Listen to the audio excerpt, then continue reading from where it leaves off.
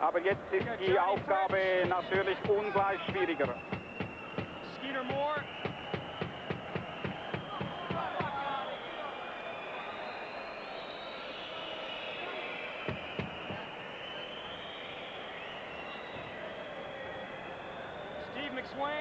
Wenn einer verschießt, der andere verwandelt, dann ist dieses Spiel hier entschieden. Und schon lange bereit sind Torhüter Dan Delianidis von den USA und Igor Talpas. Man lässt sie aber noch etwas warten. Und Billy Flynn ist seiner Sache gar nicht sicher, dass er so viele Schützen bezeichnet.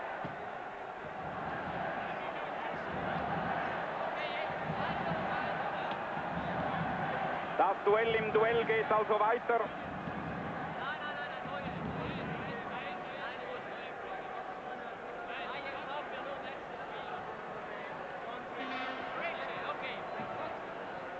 So, alles klar.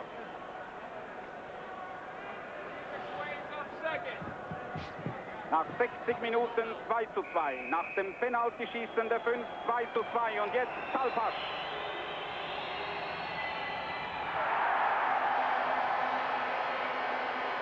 Die Situation ist klar. Wenn jetzt der Amerikaner das Tor erzielt, dann steht USA Selection morgen im Final. Am 3. Mai 1966 geboren. John Fritsche.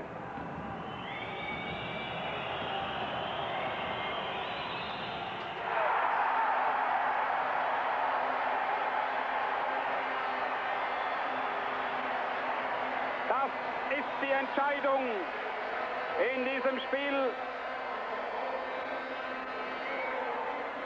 USA Select steht morgen im Endspiel des 62. Spengler Cups.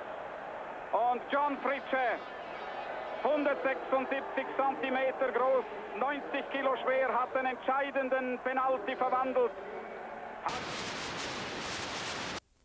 Außen und unbeschreiblich natürlich.